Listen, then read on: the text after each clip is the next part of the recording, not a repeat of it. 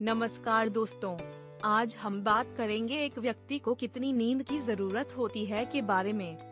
एक व्यक्ति को कितनी नींद की ज़रूरत होती है, यह उसकी उम्र सहित कई बातों पर निर्भर करता है। सामान्य रूप में, शिशुओं, उम्र शून्य से तीन महीने को दिन में चौदह से सत्रह घंटे की आवश्यकता होती है। शिशुओं, उम्र चार से ग्यारह महीने को दिन में बारह से पंद्रह घंटे की नींद की आवश्यकता होती है। टॉडलर्स उम्र एक से दो वर्ष को दिन में लगभग 11 से 14 घंटे की नींद की आवश्यकता होती है। पूर्व स्कूली बच्चों, उम्र तीन से पाँच को दिन में 10 से 13 घंटे की नींद की आवश्यकता होती है। स्कूली उम्र के बच्चों 6 से 13 वर्ष की आयु को दिन में 9 से 11 घंटे की नींद की आवश्यकता होती है। किशोरों 14 से 17 वर्ष की आयु को प्रत्येक दिन लगभग 8 से 10 घंटे की नींद की आवश्यकता होती है।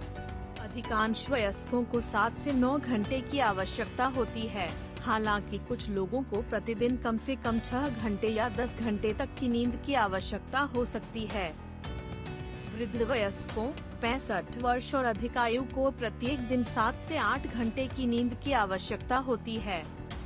गर्भावस्था के पहले तीन महीनों में महिलाओं को अक्सर सामान्य से कई घंटे अधिक नींद की आवश्यकता होती है। लेकिन विशेषज्ञों का कहना है कि यदि आप दिन के दौरान उबाऊ गतिविधियों के दौरान भी नींद महसूस करते हैं तो आपने पर्याप्त नींद नहीं ली है लगातार ऐसे ही घरेलू नुस्खे से अपडेट रहने के लिए हमारी चैनल चेतन हर्बल्स को सब्सक्राइब करें, लाइक करें, शेयर करें मन पसंद जानकारी के लिए कमेंट करें और नीचे दिए गए बेल आइकॉन का बटन ज़रूर दबाएँ।